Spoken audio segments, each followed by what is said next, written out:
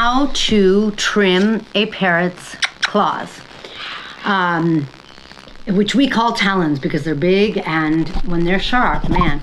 Stay, stay. The first thing is you really want to have the right tools. So we have a Dremel that we just got on Amazon to um, file down a cat or dog's claws and just people nail clippers like for toenails and they both work.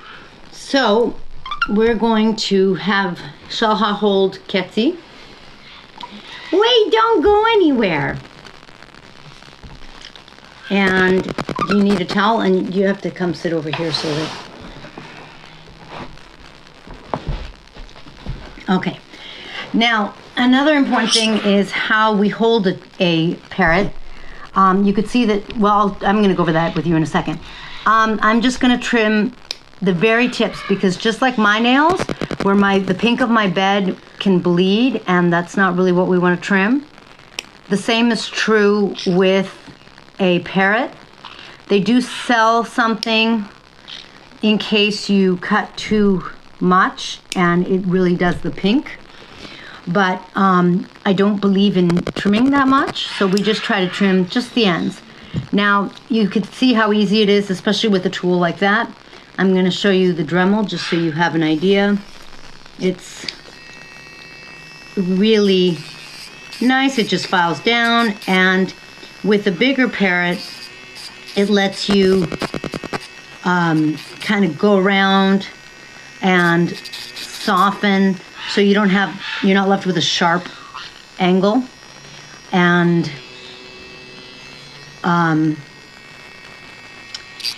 and you can kind of get everything the nice the other nice thing about the dremel is if it touches their skin it's not a problem or your skin it's touching my skin right now no problem now we could do the same and we can come in here hold his beak down and try to shape this long beak a little give him a little trim. You could do it with the lower mandible as well. Oh, Cat, it's okay.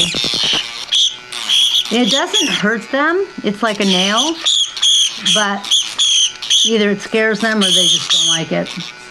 Because that's their tool, that's their how they experience the world.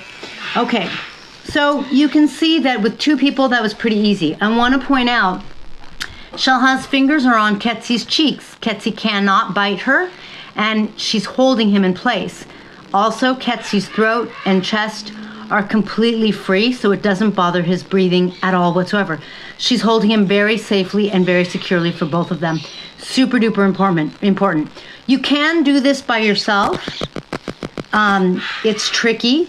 You kind of have to like hold like that, and then somehow or another pull your fingers up. It's it's tricky, but it can be done. With a towel, it's a little easier.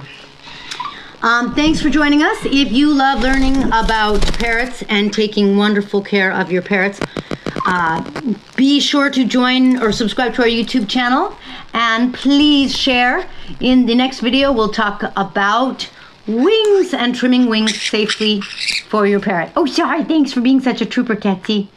Thanks. See you next time.